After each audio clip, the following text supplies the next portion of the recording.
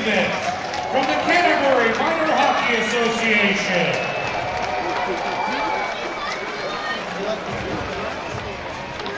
the other one should.